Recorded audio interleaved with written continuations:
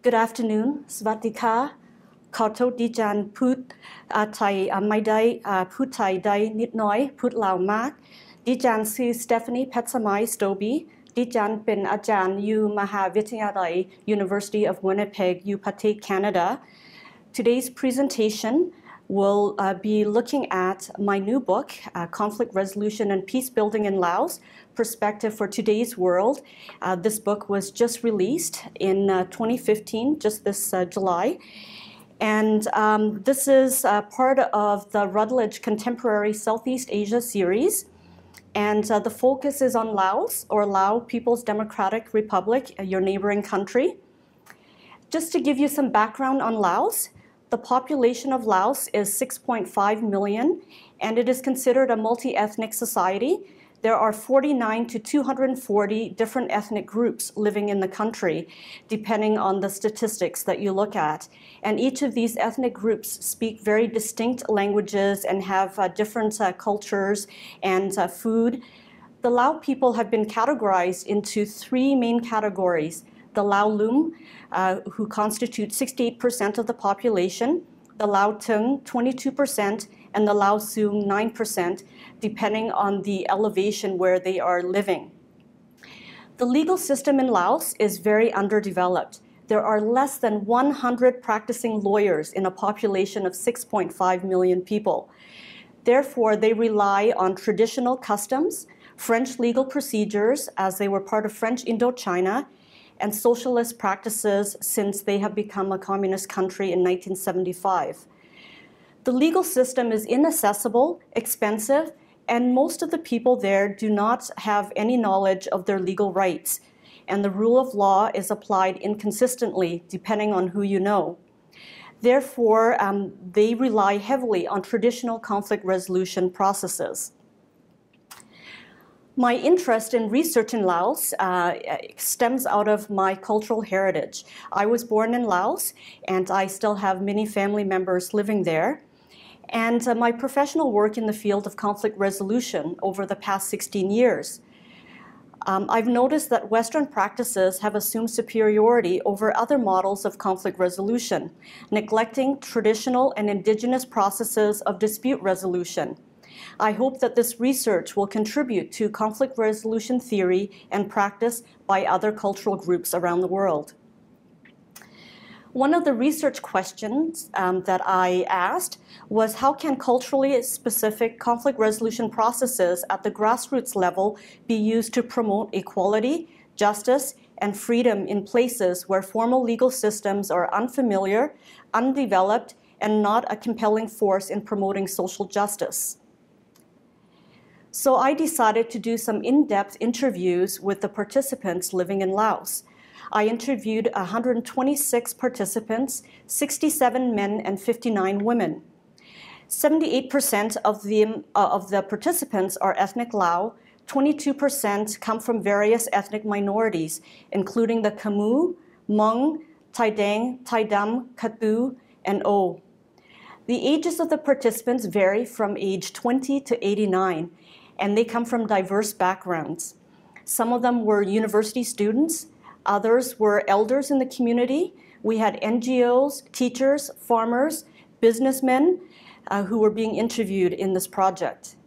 I uh, interviewed the participants in three different provinces in Laos, in Bokeo, Vientiane, and Luang Prabang. Uh, here's a, a, photo of uh, one of my research um, assistants uh, who was instrumental in helping me collect data. This is Ajahn Suksaveng, and he is Khmu. And you can see the background uh, on the door, the uh, clothing that are hung on the doors. And that clothing is representative of the Khmu uh, culture. And so if they're wearing this clothing, you can tell that they are from the Khmu ethnic group.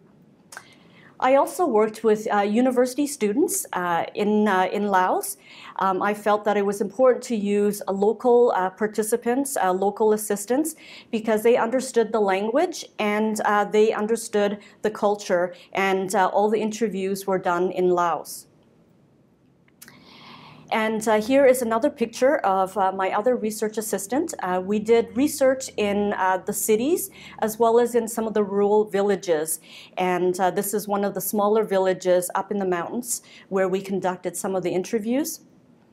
And uh, here's another photo of another village in, in Laos where we went and had discussions and conversations with the people in that community. And what I found from uh, our conversations and discussions and interviews with the various participants is that the Lao people do have conflict resolution structures. And uh, so, two of the structures that really stood out from this research is that they have an elaborate mediation system. And so, from discussing and talking with them about their mediation systems, I was able to put uh, their uh, conflict resolution processes into a conflict resolution spectrum and discuss the different forms of mediation that they have in their community. The second uh, conflict resolution structure is the uh, rituals that they have in their community. And these are culturally specific conflict resolution and reconciliation rituals called the Sukwan and Suma.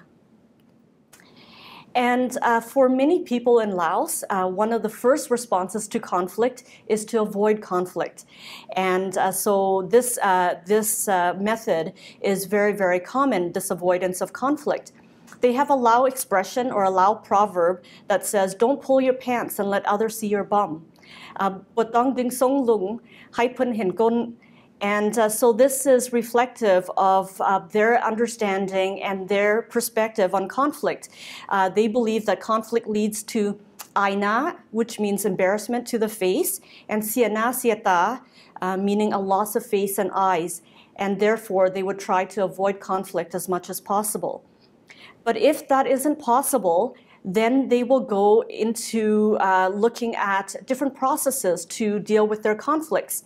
And uh, so I was able to put these different processes into a Lao conflict resolution spectrum. And so the very first uh, process is uh, the discussion or problem solving. They often use the term oplum. So when you're in this process, um, the people are, uh, are discussing and oplum uh, regarding the conflict situation and uh, looking at ways to address those uh, issues. And if they can't resolve that um, on their own, that's when they go to mediation. And so the next five levels are mediation processes. And so the first kind of mediation that they use is the parents' mediation, the palme. And uh, if they have a conflict, one of the first options they have is to go to their parents to see if their parents can act as a mediator to help them resolve their dispute. And if they are not able to resolve their, their dispute at that level, they will move to the relatives mediation, where they, where they will invite um, their um, aunts and uncles, uh, pa, lung, pinong, and relatives to uh, assist them in resolving that conflict. And uh, the aunt or uncle will then play the role of a mediator. And if that still doesn't work and they still cannot resolve conflict at that level, they will move up to the elders mediation where they will call upon the elders in their village or in their community who are well respected, and they will ask them to mediate uh, the conflict. And uh, usually they're able to resolve the conflicts at uh, that level. But if they still cannot resolve that conflict, they will move to the village leader mediation. And this is the Naiban. And uh, the village leader will then uh, work with the parties in conflict and help them move towards a resolution. And uh, finally, the last level of mediation is the Village Mediation Committee, or the Noi Gai This is a committee, um, and I will talk a little bit about it uh, in, a, in a few minutes, that will sit with the parties and their families and uh, the other mediators, and they will discuss the conflict and, again, how they can move forward to a resolution of conflict. And very rarely do conflicts move past this level. So the majority of the conflicts, if it does reach the level of the village mediation committee, will be resolved at this level. And uh, in all of my interviews, only one conflict case went through the court system. And as you can see in uh, level 7, 8, 9, and 10, you can move from the village court, the San Ban, the district court, the San Muang, provincial court, San Quang, and Supreme Court, San Sung. And uh, one case went through this, and it was a case uh, about a business conflict, a family business. And so two siblings decided to uh, create uh, this business together, and one of the siblings had borrowed money from the other sibling, but the business did not turn out very well, and uh, it fell apart. And now uh, one of the siblings is wanting to to have the money that was loaned to the other sibling paid back, but this wasn't happening and they went through all the different levels of mediation and they weren't able to resolve it and that's why they ended up in the court system and at the court system uh, they um, they uh, got into uh, more conflict and uh, there was a tremendous uh, loss of face to them and to the family members and to this day they still do not talk with one another and so you can see uh, the importance of mediation which is much more private to try and resolve your dispute. And uh, when I refer to uh, village, I'm also uh, referring to not only small rural uh, communities, but also a neighborhood or a subdivision in a city. So many times uh, in Laos, a city will be divided into different villages. Uh, looking at the five levels of mediation, um, you will see that there is a progression of levels of mediation. So if you move from the parents to the relatives to the elders, village leaders, and finally the Noi Gai you can see this progression. And uh, when you are dealing with uh, mediation at the parents level, where they play the role of a mediator, the process tends to be much more informal. It is private. There is no fee associated with that process and uh, the reparation or restitution tends to be much smaller, and there are few participants that are involved in the mediation process. And of course, the psychological or emotional costs are a lot lower. And as you move up uh, the uh, levels of mediation and reach the Noi Gai level, the process becomes much more formal and it becomes much more public. And there is a fee associated with this level and the reparation tends to be larger or restitution and there are many more participants because the parents, relatives, elders, village leaders from the previous mediation levels are also invited to participate and attend the Noi Gai Kie mediation process. And so there are many more participants involved. And of course, the high uh, psychological costs associated with uh, going through uh, the higher levels of uh, mediation. So just to uh, give you an idea about the Noi Gai which is a village or a community mediation committee, it uh, consists of seven individuals that represent different groups living in the community. So you have the village leader or the Naiban, who plays the role of the facilitator of the mediation process. You have an elder, uh, the Tauke Home. You have an informal mediator, the Gai Kie you have a women's union representative, the Samakom Punying. You have a young people's representative, the Sao Num. You have a police representative, the Bonggan or a Bakasaw. And you have a military representative, the Bonglun. And these individuals will work together to try and help the parties resolve their dispute. So when you look at some of the conflicts that are addressed by the Noi Gai Kie, uh, you will see that um, they deal with all kinds of conflicts in the community. They deal with workplace conflicts, they deal with family conflicts, they deal with community conflicts. So some examples of uh, family conflicts include abuse or violence in the family, separation, divorce, theft or gambling, children who are involved in drugs or, uh, or hanging out with friends that their parents don't approve, inheritance issues, are, uh, big family conflicts that the Noi Gai have had to deal with. In terms of workplace conflicts, uh, they are dealing with sometimes lazy employees, accidental deaths, project loans, uh, lack of money for hiring laborers, or lack of money to purchase seeds for planting. And in terms of community conflicts, uh, they have had to deal with land disputes, uh, floods, uh, water shortages, relocation.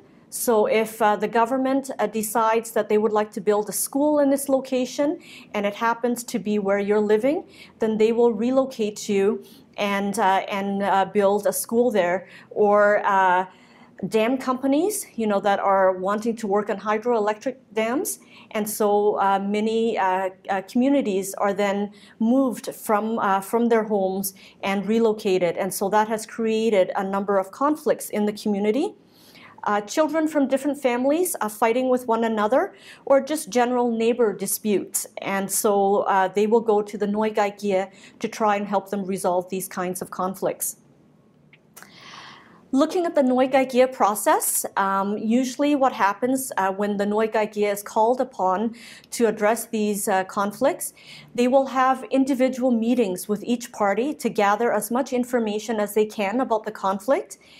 And after that, they will invite the individual along with their support networks uh, for a meeting to discuss the conflict uh, so that they can hear about the conflict from all the different perspectives and views. And once they have had a chance to do that, they will call for a joint mediation meeting with all the parties and support networks to discuss the conflict and its resolution. And once uh, they have been able to do that within their joint meeting, uh, the Noigaigia will have a private meeting to consider all information and come to a consensus regarding what needs to be done in the situation. And finally, they will call a joint meeting where the Noigaigia will come and share the decision with the whole group. So as you can see uh, from my uh, presentation on uh, the different mediation processes, you can see that there are uh, some characteristics of Lao conflict resolution processes that are quite unique. So one of the characteristics is the progression of dispute resolution processes. And uh, there is cultural norms and expectations that require the parties to go to their families first for assistance.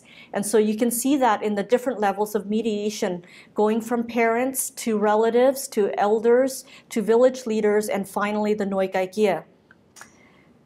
A second characteristic is the inclusion of other mediators in subsequent processes. And uh, this is really uh, unique um, because in our mediation processes in the West, we would never invite previous mediators from previous sessions to come to the next mediation session. And uh, here they include these other mediators, and it does provide a natural support network for the parties in conflict. It also ensures consistency, transparency, and accountability on part of the parties and on part of the mediators that they have really tried their best to resolve the conflicts at the previous levels of mediation. And a third characteristic is the opportunities for resolution the people in Laos are given many opportunities to resolve their dispute. At each different level of mediation, they are given three chances to modify and to implement the agreement. And so they have an opportunity to go back to their parents three times for mediation, to modify and implement the agreement. And if they still are not able to do that, then they will go to the next level of mediation and they'll have three chances there. Uh, and they will continue doing that until they reach the Noigaigia level. And at that level, after three chances, and uh, if they're not able to resolve their uh, problem and their conflict at that level, the Noigaigia will forward the case to the court system. And the fourth characteristic is that there are fees associated with an escalation of conflict. As I said earlier, fees begin with the Noigaigia level, about 50,000 kip, which is about five dollars uh, U.S. Um, and uh, when uh, when you look at this, it doesn't seem like a lot of money, but for the people over there, that's about a week's wage. And so there is this incremental increase in fee for upper level conflict resolution services. Therefore, there is a strong incentive to resolve conflicts at the lower levels. And another uh, conflict resolution structure that um, I want to explore a little bit in this presentation is the rituals of conflict resolution and uh, reconciliation. And uh, when we look at uh, conflict resolution processes in the West, and uh, when a conflict has ended or mediation has ended, we often just shake um, hands with one another and we go our separate ways. But uh, in Laos, there are specific rituals that are used at the end of a conflict situation.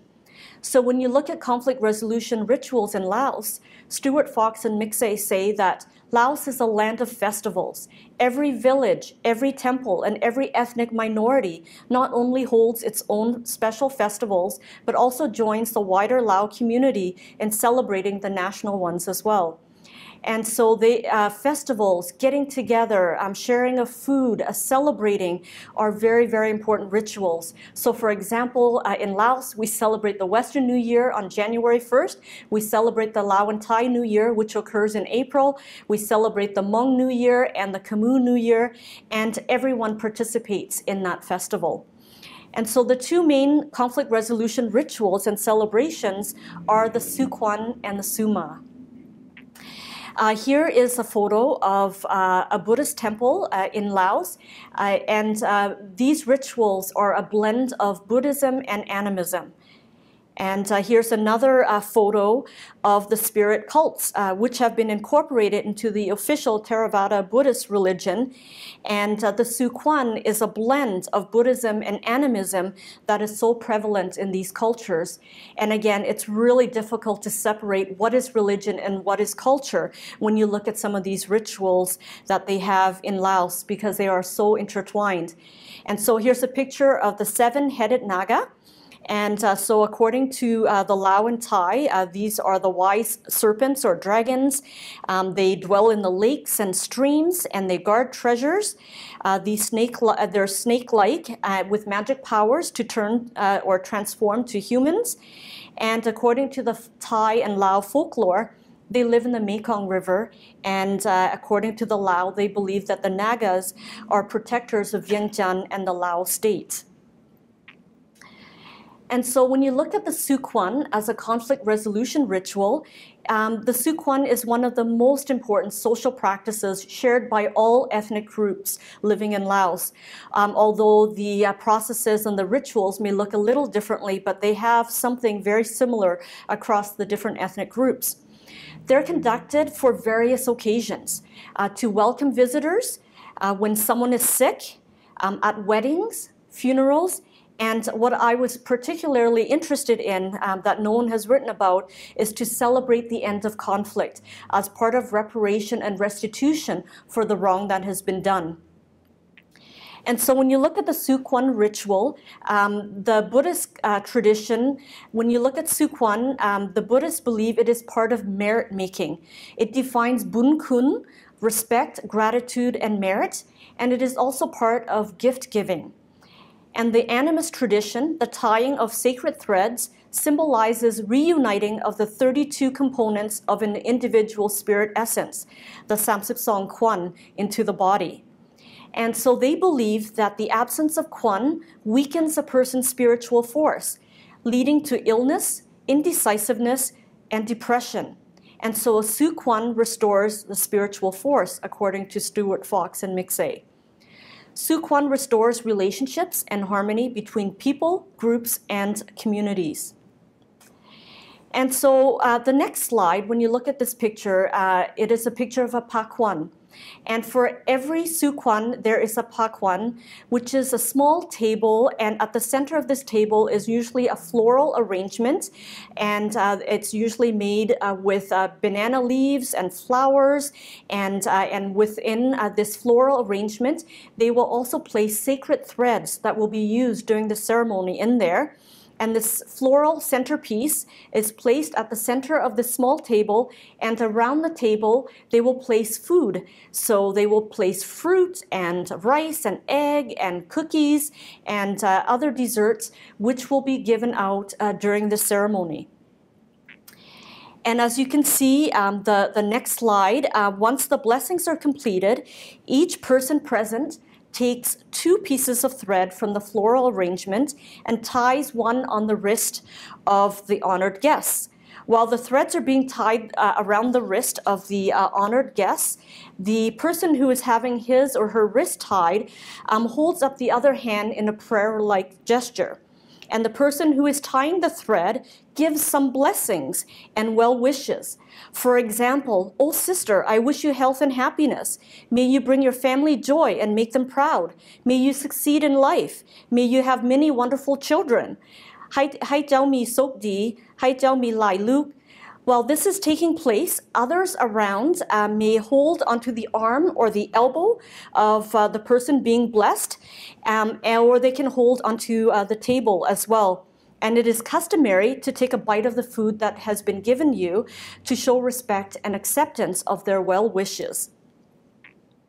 And so here's another uh, slide of uh, the sacred threads that are being tied around the wrists of uh, the honored guests as well as all the other participants at, uh, at the Sukwan.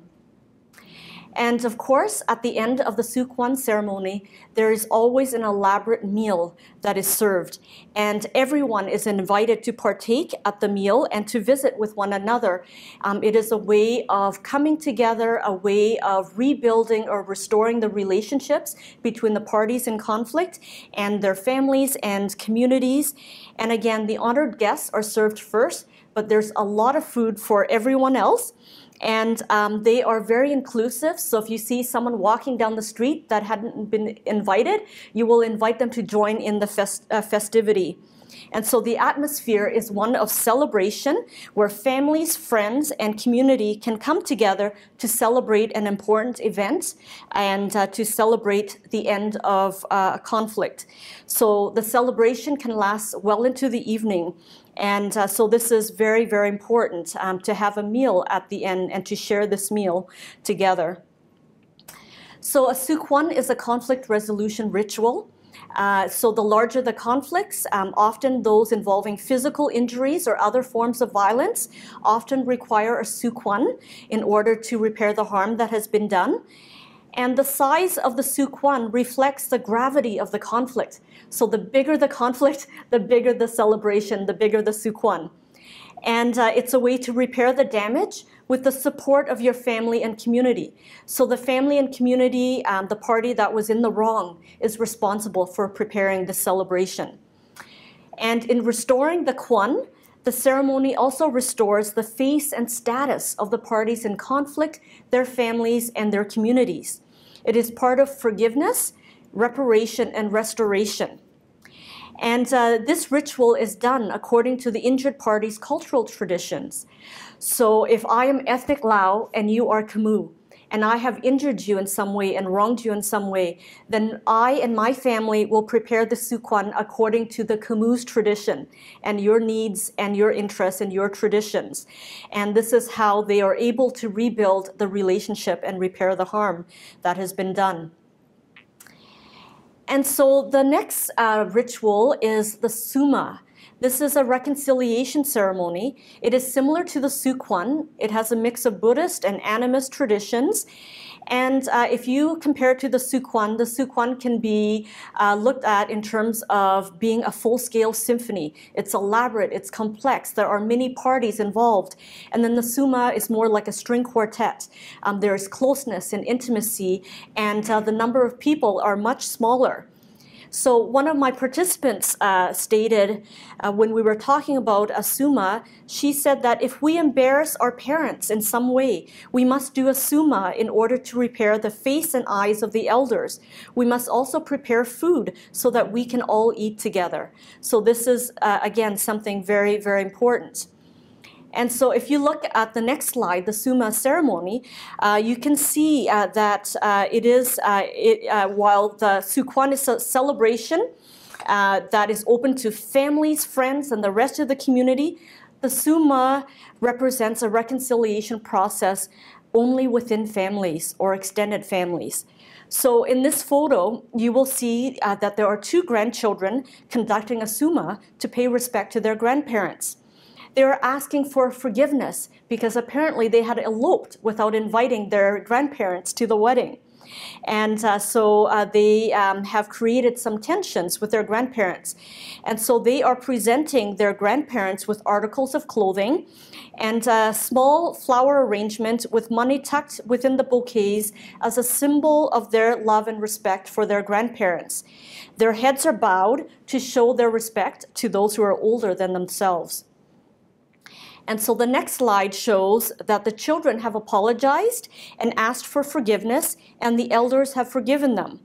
As the parents, grandparents, and elders are tying the wrists of the younger generation with sacred threads, they in turn give blessings to the children, wishing them good health, happiness, and success um, after they have accepted their apology and offered their forgiveness.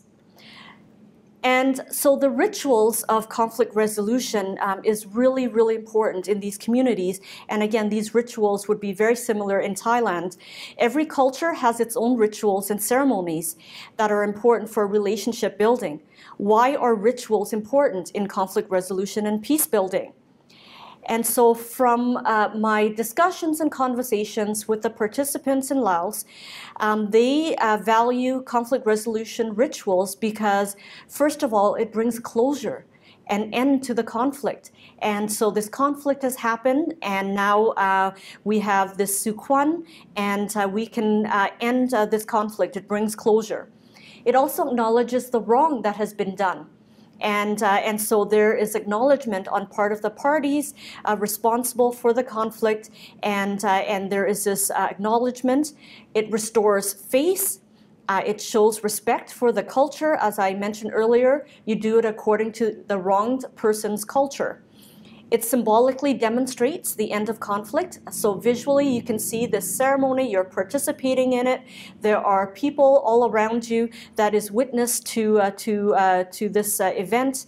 It provides support networks or a sense of community. As I said earlier, these rituals involve families, it involves community members, and so you have a natural support network as you move forward. It encourages reconciliation and movement forward, and it is future focused. And so they're no longer looking at the past and what has happened, but looking at the future and how they can rebuild their relationships. So it definitely represents a new beginning for many of the people that are involved in these conflict resolution rituals. And uh, so from this research in Laos, um, I was able to identify the tenets of conflict resolution. These are the basic principles underlying conflict resolution processes that emerge from the discussion with the various participants in, uh, in Laos. So what are some of the characteristics of conflict resolution processes or systems that are important for effective conflict resolution of any kind?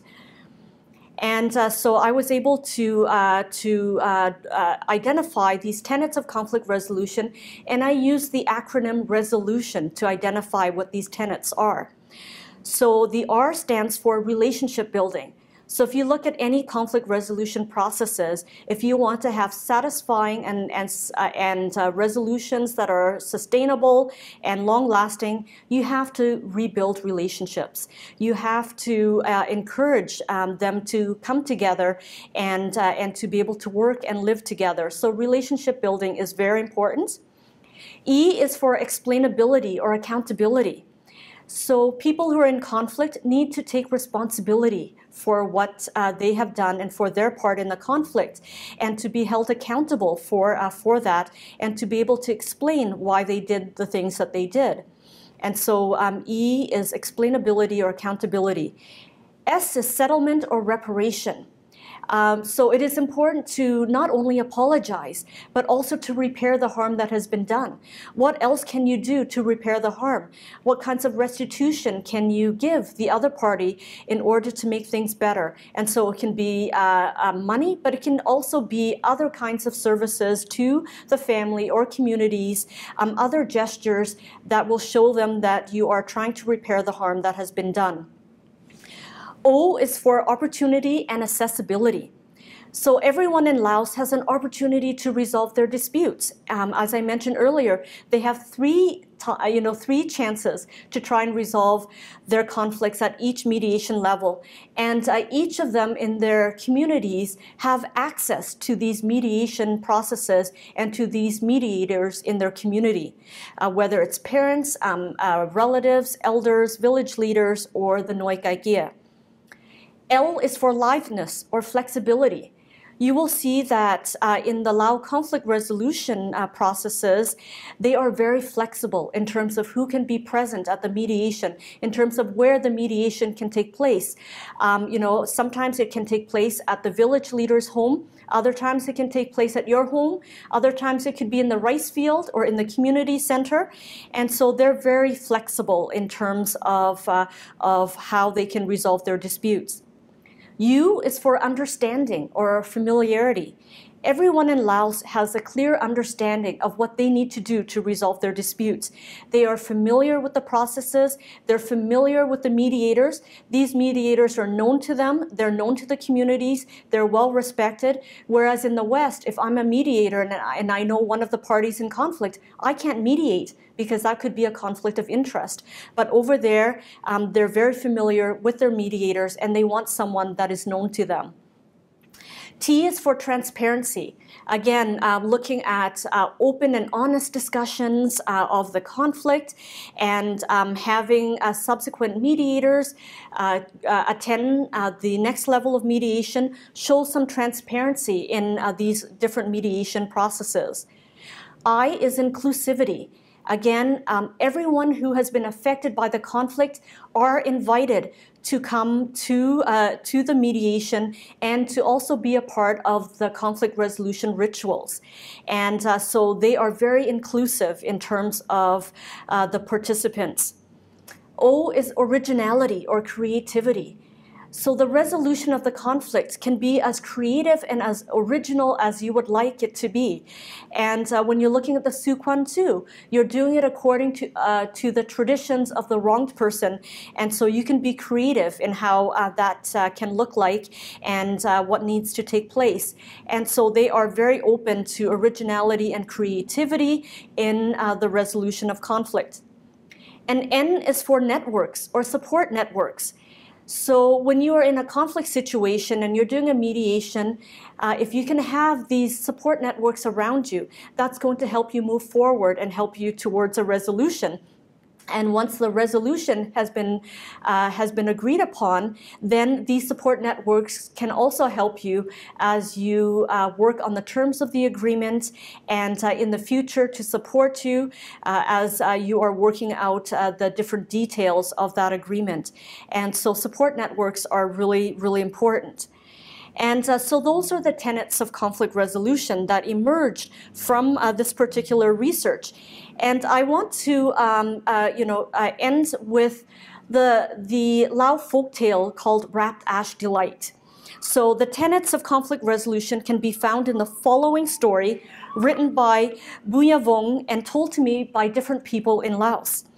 And uh, it is a story or a folk tale of two young girls, Nang Piu and Nang Oi.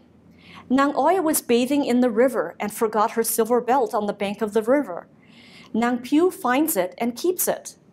Later, Nang Oi asked if she had seen the belt, and Nang Piu said no. At home, Nang Piu looks in the mirror and sees an unhappy face, full of worries, suspicions. It seemed many eyes followed her. Her heart was heavy. She was not very happy. Nang Oi was also unhappy and reported the loss of the belt to the village leader. To address this conflict, the Naiban or Kwanban and elders in the community asked everyone who had been at the river to come for a meeting at his house. They explained that they suspected someone had taken the belt and asked the person to admit to the crime and return it. Nang Piu is too scared to admit to the crime. So the Naiban or Kwanban came up with another strategy.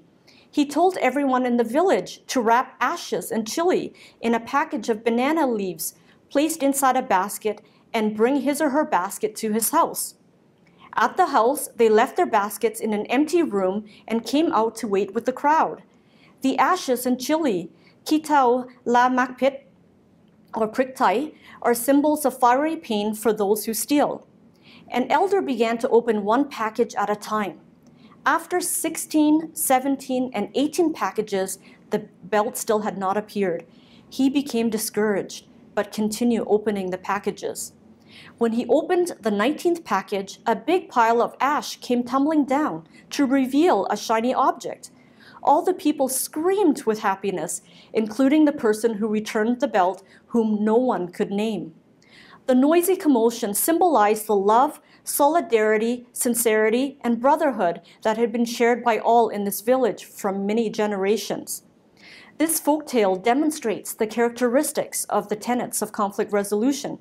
Including opportunity or accessibility, litheness or flexibility, originality or creativity, inclusivity, re- relationship building, and support networks.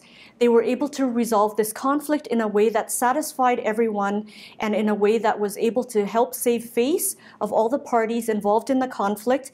And um, also, they uh, allowed for anonymity in terms of resolving this uh, conflict. So you can see uh, that. Um, the Lao conflict resolution uh, systems are uh, very prevalent uh, in those communities, and uh, and I want to conclude uh, with uh, just um, you know a few points that the rituals exemplify symbolic acts taking place in unique places that are forming and transforming people's worldviews, identities, and relationships. Um, so this is according to Schirch.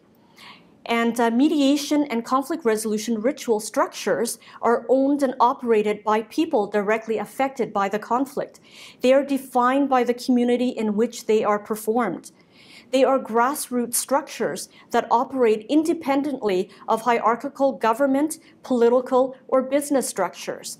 And I hope that as the country uh, begins to develop a formal legal system, that they will not forget about these rich uh, mediation processes and rich conflict resolution rituals that they have in their countries, and that they will be able to incorporate uh, these different models and, uh, and uh, provide an option for the people in, uh, in their communities. And so uh, this presentation is uh, based on my book, Conflict Resolution and Peace Building in Laos. And so if you would like further information and more detailed uh, information, you can find that in, uh, in my book. So thank you very much. Uh, ขอบคุณมาก and เดี๋ยวพบกันใหม่